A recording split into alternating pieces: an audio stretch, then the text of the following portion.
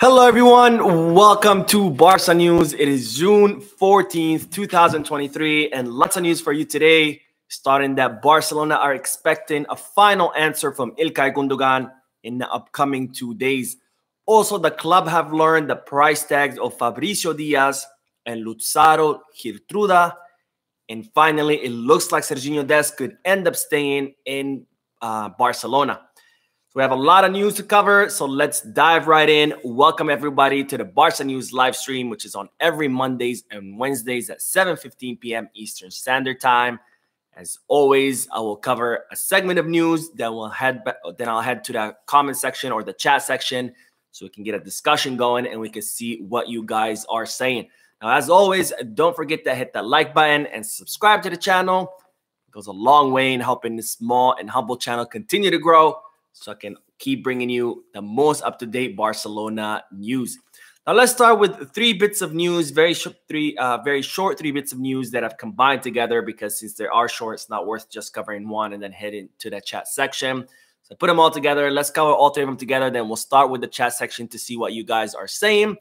But let's start with the news that Joan Laporta has announced that he is willing once again to put money out of his own pocket in order to back the registration of the players. Now, Barcelona have gotten the feasibility plan approved, so they will be able to register the contracts of Gavi, Araujo, Marcos Alonso, Sergi Roberto, um, the contract renewal of Alejandro Balde as well. But just in case something bad happens and Barcelona find themselves in some precarious situation, then Joan Laporta is willing to put money from his own pocket and kind of to ensure the payment of the salary or to bond the payment of the salary of any of these players. Now, what that means exactly is, see, Barcelona, uh, Joan Laporta would be saying that Barcelona or guaranteeing La Liga that Barcelona would be willing to pay this the salary of any of these players if they're not allowed to be registered. And if Barcelona end up not being able to pay for the salary, then it would come out straight from Joan Laporta's pocket. Now, this is not the first time Joan Laporta has offered to do this. He actually did this last summer. I don't know if you remember, but when Jules Koundé joined the club, Barcelona were unable to register his, his contract at first. And actually, he, he missed out on two weeks or two matches of La Liga. And Joan Laporta put money from his own pocket to guarantee the registration of Koundé, which in other words, Barcelona had been unable to pay Koundé's salary for the entire season. Then Joan Laporta would have had to pay it from his own pocket. Now, thankfully, it didn't come to that. Barcelona were able to pay Koundé's salary, but it seems that Joan Laporta is willing to do this once again. And again, it was thanks to Laporta that Jules Koundé was able to be registered and play the season. So it looks like Laporta is willing to do this once again this season, which just goes to show his full commitment to the club. Because again, as a president, there's absolutely no requirement from him to do this.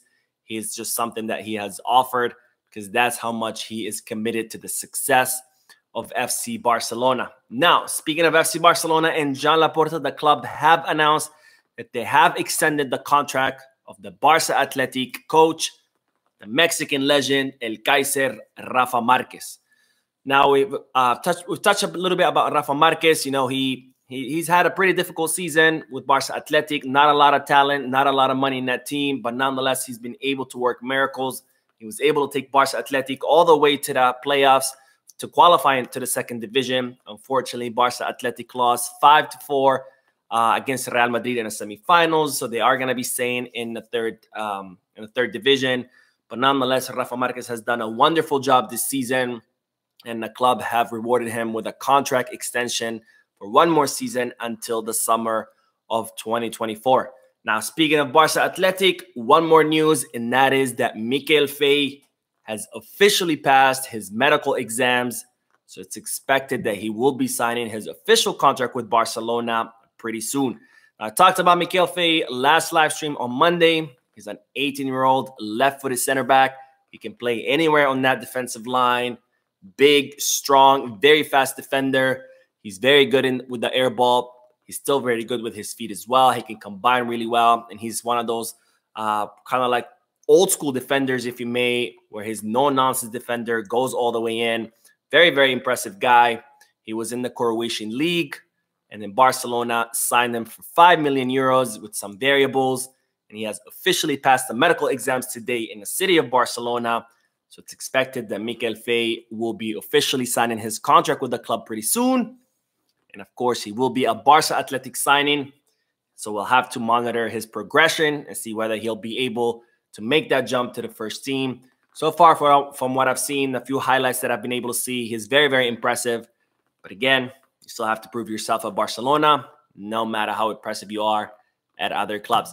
So that's the three bits of news that I had that I wanted to cover uh, combined together. Uh, so now let's head to the chat section. Let's see what you guys are saying.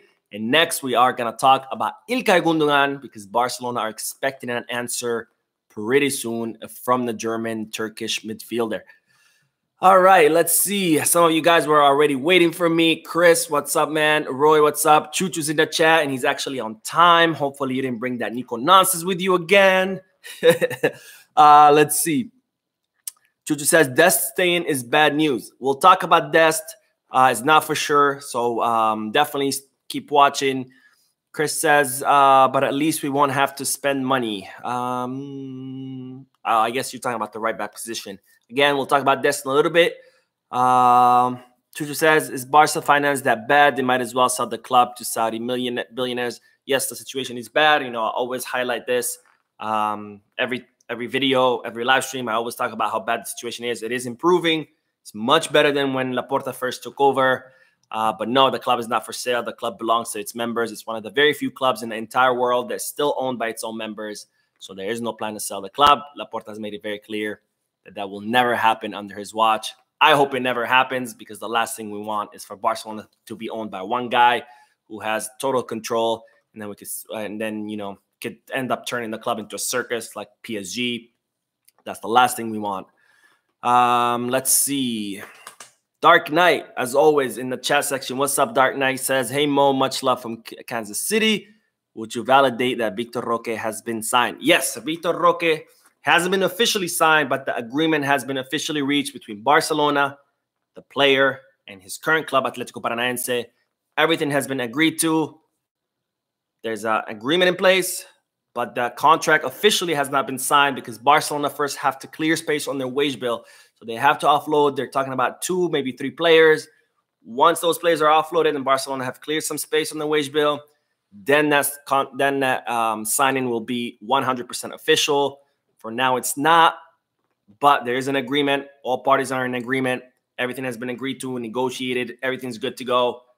Just pending that Barcelona sell two or three players to be able to make the signing official. All right, let's talk about Ilkay Gundogan. Speaking of players arriving in the club, you know, we know his contract is expiring in a few days, June 30th. He's been uh, debating whether to go come to Barcelona which he did give his verbal agreement to the club that he would join as long as Barcelona give him a long contract, um, which is talk, uh, which is um, the word is that Barcelona are offering him two seasons plus one, so a total of three seasons. Um, but Manchester City, of course, they're now pressuring to try to keep the player to renew his contract because Pep Guardiola does not want to lose Gundogan. You know, this season Gundogan has been absolutely phenomenal, probably the best, if not the second best player on the entire squad. I would say the best, honestly. Um, he's been very key in the success of Manchester City. So Pep Guardiola really wants to keep him. And it looks like Gundogan's entourage reached out to Barcelona today through a virtual meeting. And they reached out to Barcelona because they wanted to ask the club about how things are going as far as the financial fair play rule restrictions and about Barcelona's ability to register the contract of Gundogan if he does end up signing for Barcelona. Now, Barcelona have communicated to Ilkay Gundogan's entourage that everything is fine. All the work has already been done as far as the signing of Gundogan. That there's plenty of space. Uh, that there is enough space on the wage bill to register his contract.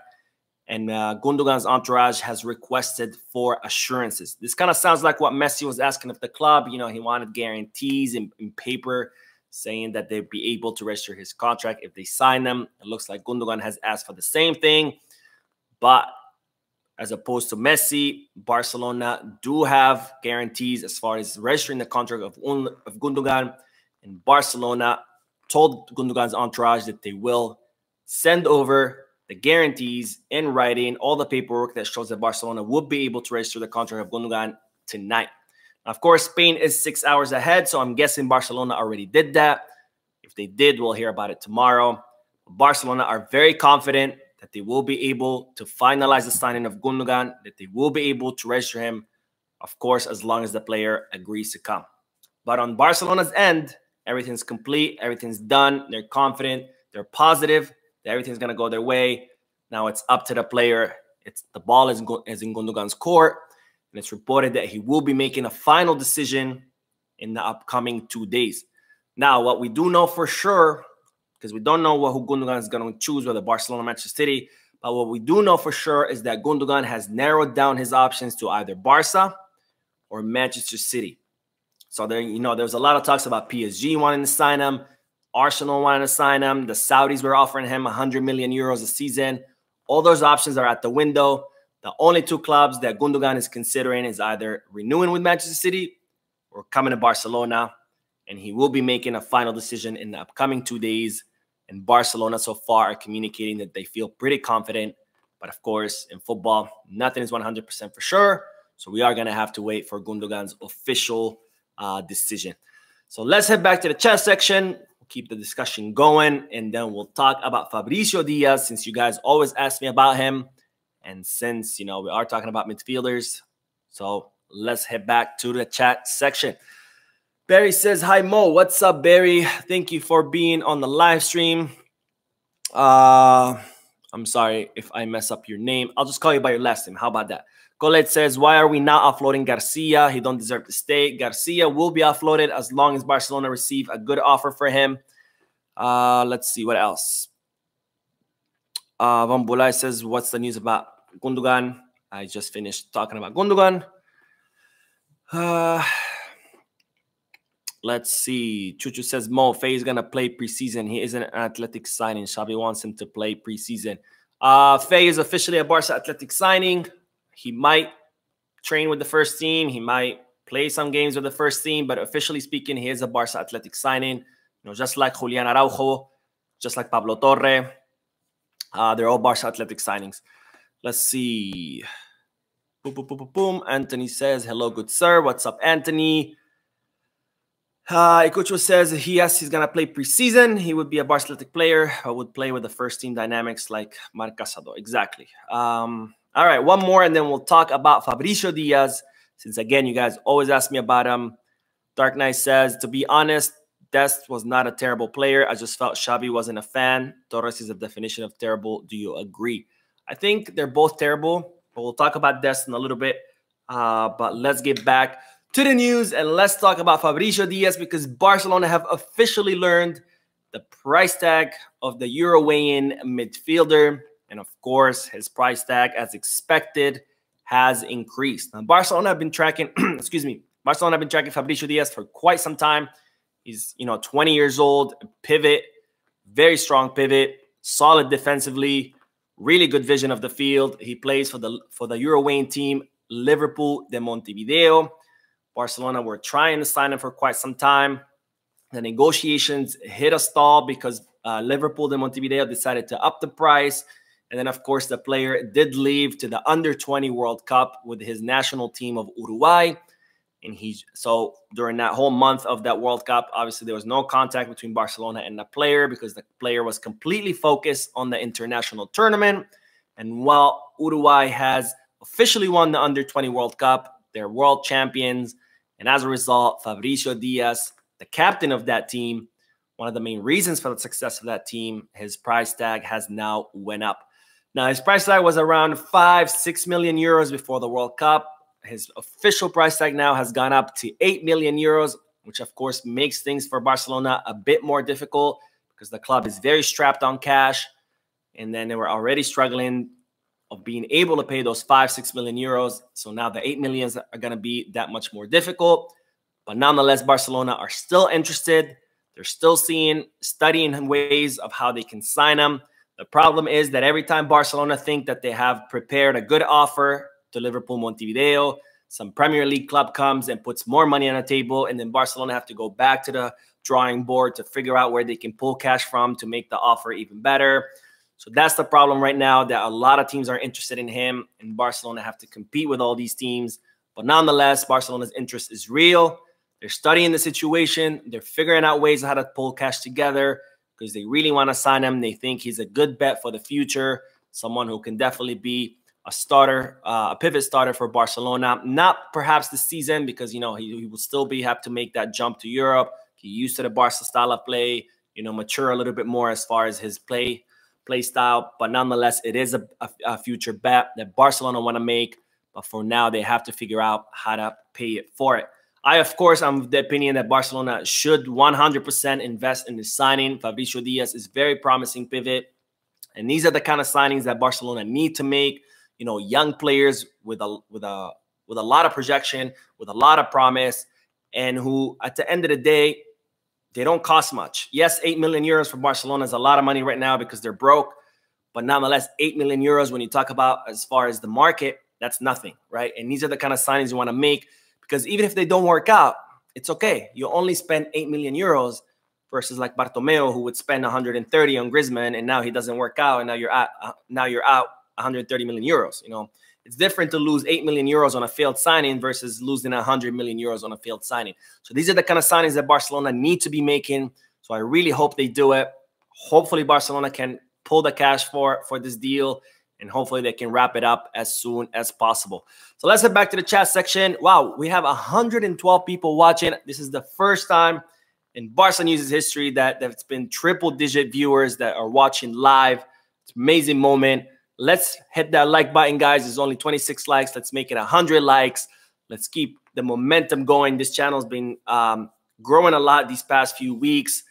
And man, it's just insane. I can't believe it. Uh, it's all thanks to you amazing people who are always here watching the videos, leaving your comments, hitting the like button. So thank you, thank you from the bottom of my heart. And let's keep the momentum going. Let's keep growing. And also let's head to the chat section so we can get a few more comments in and then we'll talk about Lutsharel Geertruida. I've been practicing that name all day, guys, because I do not speak Dutch, and I think that's how you you say. If there's anyone who speaks Dutch in the in the, in the chat section, please let me know if how bad I'm butchering the name. Okay, uh, let's see. Sintu says, do you want more a defensive pivot or a technical pivot? Technical pivot because Barcelona's pivot has to be technical. And Fabricio Diaz, he's very defensive, but he also has technical qualities. Um, you know, unlike players like Amrabat, let's say, or Kessie, who are much more defensive than they are technical. That's why I would like the signing of Fabricio Diaz. Uh, let's see. Um, well, what else? What else? Where did we leave off? Uh, Sheriff says Mo Gundogan is Gundogan come to Barcelona. I just talked about Gundogan. If you missed it, make sure to watch the live stream once it ends. Uh, Abbas says, why do goalkeepers wear a different kit instead of wearing the same kit? Honestly, I don't know. It has to. Do, I, I know. I think it has to do something with um, to avoid confusion. I'm not 100 percent sure, but I think that's why. Uh, that way, you know, there's no confusion between the defenders and their own goalkeeper. There's also no confusion for the referee. You know, some a guy wearing the same uniform as everyone else Gap grabs the ball by the hand and he's like, "Oh, red card, handball." Oh no, wait, you're the goalkeeper. Sorry, never mind. I think that's why I'm not 100 percent sure. But anyways, um, let's see. Barca, yes, Barca, triple digits. Let's go. Okay, uh, Claudia says I heard Deco choose Paulinho from Fulham and Benfica player over Amrabat. Paulinho costs 50 and Fulham are ready to swap players. Um, as far as I know, there's no confirmation of that. But uh, I don't know where you heard it. But as far as my information, no. Okay, let's get back to the news because the next news is about Lutsharel Geertruida. I've talked about this guy before in previous videos. He's a 22-year-old right back, currently plays in the Dutch league team, Feyenoord. He's had an excellent season. He's one of the main reasons why his current team, Feyenoord, won the, the, uh, the Dutch league. And Barcelona have officially learned his price tag. And he has a price tag of 18 million euros. So he's definitely a real possibility for Barcelona. Now, as far as the right back position, and I touched about the, uh, on this a little bit yesterday, but and in previous videos as well. But Barcelona's main priorities for this summer transfer market is obviously number one is the pivot position which just talks about Amrabat, maybe other options. We'll see. There's the interior, which of course Gundogan. Hopefully he's going to be filling that position. There's Inigo Martinez, who the signing is pretty much complete. And finally, Vitor Roque, which the agreement has been reached. Those are the priorities of Barcelona for this summer transfer market. Once those priorities are met, if Barcelona still have some extra cash, if they have more space on the on the wage bill, then they'll sign a right back. If not, then the right back position is not a priority until the next summer. Barcelona don't want to make a big investment on the right back position. They're waiting for the next season to do that. And Deco has already offered the club the option of Vanderson, which I mentioned in yesterday's video. So if Barcelona can get a good, someone good for the right back position and they have extra cash for him, they have space on the wage bill, they'll do it. If not, they're okay going without one, using Julian Araujo, maybe have Koundé rotate with him, and then wait until next summer and try to sign Vanderson or someone else. Now, Lutsharel Geertruida, definitely an option for Barcelona. There's also other options. There's Cancelo on loan. And there's, of course, the option of Ivan Fresneda, which I mentioned in Monday's live stream. He's the right back for Real Valladolid, who just got relegated to the second division. But it seems that Ivan Fresneda is much closer to joining Dortmund than coming to Barcelona. So that option might be off the table. So the other options, the, the remaining options are, of course, Cancelo on loan and there is Lutsharel Geertruida, who Barcelona have learned that his price is 18 million euros. Again, if Barcelona meet their priorities, they have cash, they have cash left, they have space on the wage bill, they'll sign him. If not, they'll wait until the next season. So let's get back to the comment section. We'll do two, three comments real quick, and then we'll talk about Serginho Dest since we are on the topic of right backs. And then finally, there's news about Inigo Martinez. There's some news about Carrasco, and there's some news about Kimmich, and then we'll wrap it up. Lots of news today, but when there's a lot of news, it's a good day because it keeps me busy, and I have things to report to you guys. All right, let's see. Uh, Dark Knight says Subi and Kimmich ain't coming. Why can't we just focus on realistic Amrabat before we lose him? Um, I think because Xavi's insisting that Barcelona, you know, make that make the offer for for uh, Zubimendi just to see maybe works, maybe not. You know, Zubimendi is his favorite option. But if not, of course, Amrabat is right there. Um, you know, Xavi likes Amrabat. He thinks he's a good option for Barcelona, but of course, he does have players that he prefers over Amrabat. Okay, best thing says, do you think Vitor Roque is worth 40 mil? Absolutely. In today's market, that's actually a huge bargain. Barcelona, uh, I'm sorry, Real Madrid paid 60 million for Endrick someone who's two years younger than Vitor Roque, who's going to take another two years to come to Europe versus Vitor Roque is already 18, so he can already come to Europe this season. And Endrick has completely disappeared off the map. He he was the the next big thing out of Brazil. He was one of the most promising talents in the world, and all of a sudden he's not playing, he's not starting, he's not scoring, nothing. And Real Madrid paid 60 million for him, so they can wait two more years for someone who's already flopping. Meanwhile, Vitor Roque 40 million euros for someone who's 18, who's ready to come, who's already proved himself on the international stage. You know, he won the South American Championship with Brazil. He was the top scorer of that um, of that tournament. Uh, one of the main reasons why Brazil won it. Absolutely worth 40 mil, especially in today's market where teams seem to want to pay, you know, 100 mil for the water boy, 200 mil for the guy who brings you the towels. I mean, the market is insane. So 40 mil, absolute bargain. Okay, let's see. What else? Yanel Garcia says, Mo, what your favorite jersey kit for Barcelona? Are we talking about this season? Are we talking about next season? Are we talking about in history? Um, let me know and I'll answer that question. Carlos Lopez says, I don't know too much about Roque, but Alvarez has huge potential going away at City. Hate to see it. Yes, absolutely. I think Alvarez did, uh, Julian Alvarez made a big mistake renewing his, con- extending his contract with Manchester City until 2028. You know, he has a lot of potential. He's never going to be the starter at Manchester City unless Haaland leaves, which there is talks about Haaland maybe leaving if Pep Guardiola leaves. You know, Pep Guardiola has decided uh, has is not renewing his contract so far with Manchester City. It expires at the end of next season. And there is talks that if Pep Guardiola does leave in the summer of 2024, that Haaland could follow. But either way, I think Julian Alvarez wasting his talent there. You know, being the substitute of Haaland, he's never gonna be the starter over Haaland unless Haaland breaks his leg or ends up leaving. But of course, there's no point of talking about Julian Alvarez regardless, because there's no way we can afford his transfer fee, no way we can afford his salary. So that's it. All right, let's talk about Serginho Dest because the American fullback could end up staying at Barcelona. Now, there's a lot of interest in Serginho Dest. There's been a lot of clubs who have reached out to Barcelona. You know, clubs like Union Berlin. There, were there was talks about some clubs in MLS wanting to sign him. Some clubs even in Italy. But aside from the interest, aside from the phone calls, there haven't been any concrete offers. Just plenty of uh, of interested clubs, plenty of questions, but no official offers. And Barcelona are are con contemplating an option B.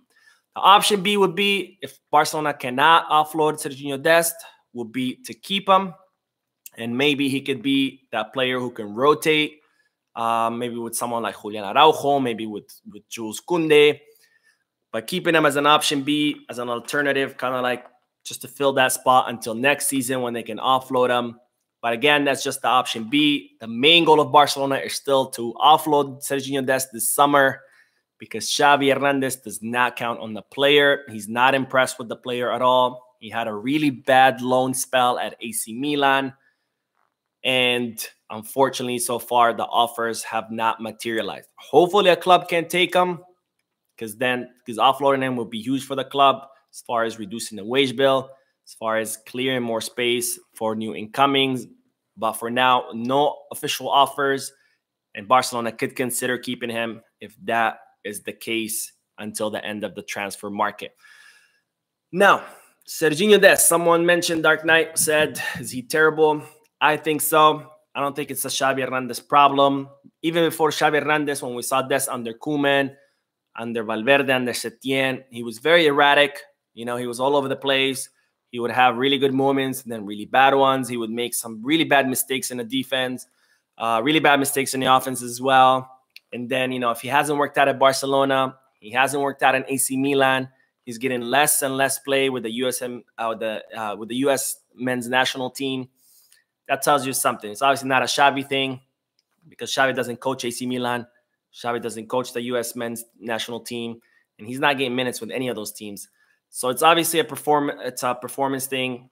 It's unfortunate because Serginho Dest had a lot of promise. It looked like you know he was really gonna be up there, but then he somehow just plateaued and got stuck. Very unfortunate. Maybe he can find his way back in another team, but at Barcelona, they're not counting on him. They want to offload him, unless, of course, no offers materialize. Then he can be an option for the right back position until next season when Barcelona can sign someone on a long term basis. All right, let's talk. Let's head back to the comment section and then we'll talk about Inigo Martinez, also Carrasco, and Kimmich. And then uh, we'll wrap it up. Wow, we're already almost at 30 minutes. Lots of news today. I'm telling you, Barcelona keeps me busy. All right, let's see. Where did we leave off? Abbas says, Do you think Mbappe will come to Real Madrid this time around? Uh, honestly, I, I'm not sure because obviously Madrid were very interested in Mbappe. They tried to sign him. And there is talks about Florentino Perez now not wanting to do anything with Mbappe because what he did, you know, everything was agreed to. Mbappe was like one step away from signing for Real Madrid last season. And all of a sudden he makes a U-turn and says, never mind, I'm staying at PSG. So there is talks about Florentino Perez being very upset with the player about what he did and that he doesn't want anything to know about him. But at the end of the day, still Mbappe. So no matter how upset you are at him, I think eventually signing him could be good for them. So they may, they might, they might, but Regardless, I don't care. This is a Barca channel, and we only care about the best Barcelona. All right. Let's see. Who would you rather sell, Ferran or Fati? Fati, 100. Uh, I'm sorry, Ferran, 100%, because he um, he just sucks, man.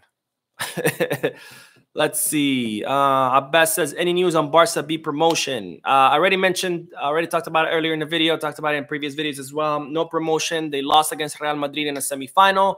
So they're going to be staying in the third division. All right, let's talk about Car uh, no, sorry, Inigo Martinez. Then we'll talk about Carrasco. Inigo Martinez. He's obviously has everything in place. All the agreements are in place with Barcelona. He's a for sure signing. Once the market opens and Barcelona will make the signing official. The problem is that today he underwent surgery in the city of Barcelona on his calf. Now, Barcelona is saying it's nothing serious. It's a small surgery. Apparently, he had been having pain issues with his calf since the end of last season, not this season, last season. So he's had this injury for quite some time. He underwent the surgery. He's only going to be out for 15 days, which means he'll got, he's going to be ready by the end of June. So it's not going to affect his signing because he'll be ready before even the preseason begins because the preseason begins on July 10th. I only worry about I do like Inigo Martinez as a center back. He's a very strong, solid center back, very experienced. Kind of reminds me a little bit, again, old school defenders. Very goes all the way in, fully committed. Very strong defend, defender. The only problem is he's had a lot of injuries in the past two to three seasons. He's already undergoing surgery and he hasn't even officially signed his contract. That worries me a little bit.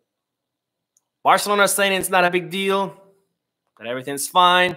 So I got to trust their judgment, but it does worry me a little bit. Now, speaking of teams that wear red, because Athletic Club de Bilbao do wear red, and so does Atletico de Madrid. And the news is, ladies and gentlemen, is that Carrasco has decided to not fully close the door, but very close to closing the door to Barcelona. Now, we all know, and I've talked about this many times, when Barcelona offloaded Depay to Atletico Madrid, they negotiated an option in his contract that would allow Barcelona to sign Carrasco during this summer from Atletico de Madrid for around 19 million euros. Now, Xavi would like to have Carrasco on his team. It's not like he's crazy about him. It is a good option for Xavi. So Barcelona attempted to negotiate down that 19 million euros down to nine, eight, because they don't think Carrasco is really worth that much. Plus, he only has one year left on his contract. Atletico Madrid said absolutely not. If you want to buy him, it's 19 million euros or don't. After that, the situation kind of the operation completely came to a halt. Barcelona not willing to pay for that much. Plus, Carrasco is not really a priority. Again, the priority is the pivot, Gundogan, Inigo, Vitor Roque. So the operation has been on hold for quite some time. There's no communication. Everything has cooled off. And today, Carrasco made some interesting statements, which seems like he is closing the door on Barcelona. Maybe not fully. I would say maybe 90%. So what did Carrasco say? He said, at the moment, I see myself doing the preseason at Atletico, where I am very happy, but you never know what can happen in football. If offers arrive, we will discuss it with the club. I don't want to talk about it too much. I still have a year on my contract at Atletico, and I am concentrating on the games with Belgium and then on vacation. Then it will be the time to think about a transfer, a contract extension, or the completion of my last year of contract in Madrid. So, not fully closing the door, but he's saying that he's happy at Atletico Madrid, that he's focused on Atletico Madrid, that he, you know, wants to either complete his contract, extend it, or maybe talk about transfer. But for now, it looks like he is closing the door a little bit. I'm happy about it. I don't think Carrasco is, you know, it's Barca material. He's better than the options that we have right now, but not necessarily. I think he's more of a Ferran Torres kind of signing, where you know he's might give you some good moments, but overall, he's not that guy who's gonna come change things around, elevate the level of Barcelona, make them more competitive on the European stage. He's not that guy. Anyways, last news, and then we'll do the comment section because this last bit of news is very, very short, and it's about Joshua Kimmich. I mentioned in yesterday's video that Joshua Kimmich officially closed the door on Barcelona said he wants to stay in Bayern Munich. He still has two years on his contract, blah, blah, blah. You know, I've never, I never for once thought that the, the Joshua Kimmich option was was remotely possible. And yesterday he confirmed it. And well, today we found out that when Barcelona heard about the rumors that Joshua Kimmich might want to leave Bayern Munich, they reached out to the Bundesliga club. And as I've been saying in previous videos, Bayern Munich have no interest in offloading Kimmich and their interest in us in offloading Kimmich is so non-existent that Bayern Munich didn't even respond to Barcelona's requests for communication or letters or phone calls. They didn't even pick up the phone and say, "Hey, we're not interested." They didn't even answer at all. That's how very little interested they were in offloading him. Thought it was an interesting, um, interesting news to share with you because again, I've been saying from day one it's not possible. Bayern Munich do not want to offload him. But then there was plenty of reporters saying, "Oh, Joshua Kimmich, he's ready to push his way out of Bayern Munich. Oh, Joshua Kimmich is coming to Barcelona. Oh, Joshua Kimmich already signed. He's actually playing. Look at look on your TV." I always said it's not possible, and well, he confirmed it yesterday, and this further confirms it that Bayern Munich never had any intention of offloading him. They weren't even willing to pick up the phone and say, "Sorry, guys." Nothing. They completely ignored it. Okay, let's see, guys. That's all the news for today. So we still have a few more minutes. We'll do more comments. We'll get the discussion going. Then we'll wrap it up. Lots of news today. I got through it. I can't believe we hit 130 something viewers. That's amazing. But it's still 53 likes. That's almost a third. So let's hit that like button, guys. Let's help this channel continue to grow. Let's keep the momentum going. And let's go back to that chat section. All right, where did we leave off? Sally says Carrasco is a waste of money. I agree. So that's why I'm glad that he made those statements. Hopefully, Barcelona, you know, don't end up signing him. Abbas says, please smash the like button. Yes, Abbas, thank you. Uh, Cule Caribeño. All right, what part of the Caribe, uh, Caribe are you from? Carrasco is only arriving to Barca if Ferran leaves, and that isn't happening. Ferran is leaving. He's saying no right now, but Barcelona will find a way. They don't want him to stay at the club. You know, out of Ferran, Kessie, Fati, if there's one player that Barcelona might back away and say, okay, fine, we're going to keep you, is Fati. As far as Ferran and Kessie, the decision is 100%. They're leaving. There's no chance that they're going to stay. No way for Barcelona change their mind unless something extremely drastic happens. Uh, I don't know, a meteor falls and destroys the Camp Nou, and now we have to keep our players. Something crazy. Okay, Cinto says Carrasco's way better than Torres. He might be better, but they're still both garbage. Um, you know, uh, a rotten apple is still better than no apple. Doesn't mean I want to eat it. All right, let's see. Isaac says, so I heard PSG will come for Griezmann and Mbappe leave. I don't care what PSG do. I mean, they can sign the entire world. They're still not going to win a Champions League. That place, that club is a joke. How much longer would you give Fati before considering a sale? Uh, I would consider a sale now, honestly. Uh, I like Fati a lot. I had a lot of hopes in him. I mean, Fati was destined to be probably one of the best La Masia graduates since Leo Messi. But unfortunately, his injuries, he's had multiple surgeries on the same knee. And sometimes, you know, these things you just cannot recover from. So it's not a talent issue. It's not a skill issue. Fati is a monster. He has all the raw talent of the world. He's the kind of player that only comes, you know, once in a generation, maybe twice in a generation. But unfortunately, you know, and we've seen this story before with, with Ronaldo, the real Ronaldo, not the not CR7, not Penaldo. The real Ronaldo, you know, we saw what happened with his knee, and he was one of the most skilled, if not the most skilled number nine ever. So unfortunately, I don't know, man. I don't know. I mean, even with the goals that Fati has scored, he was mostly a ghost on uh, on the field. You know, a shell of what he used to be. So, given the club's financial situation, I would offload him now. We need to get rid of his salary. It's 10 million euros. It doesn't make sense to pay 10 million euros for someone who's on the bench. And, you know, selling him if we can get 60, 70 million euros now, that's huge for the club versus, you know, waiting another season. He ends up not recovering his form and then his value diminishes even more. If the club situation was fine, I'd be like, give him another season or send him on loan. But given the club situation, I think now we should sell him now. Uh, okay. Cule Caribeño says Kimmich won't sign with Barca. Yeah, exactly. Uh, let's see. Anthony says, who would you keep? Kessie or Ferran must choose one. If I absolutely have to, Kessie. That's not hard. Um, I like Kessie, you know, but Unfortunately, we have to offload players, and if you have to choose one, it's Frank C. Let's see. Um, let's see what else. Lukma says, I don't think anyone will be ready to be over six uh, to pay over 60. Uh, there's talks about some clubs interested in paying that. Plus, in this today's market, like I said, I mean, these clubs are spending crazy amounts of money.